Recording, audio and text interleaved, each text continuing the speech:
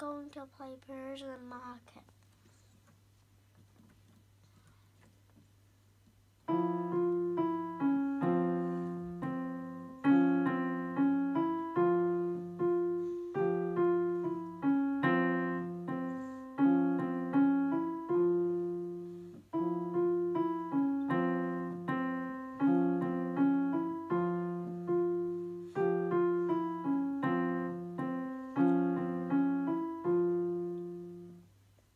Thank you.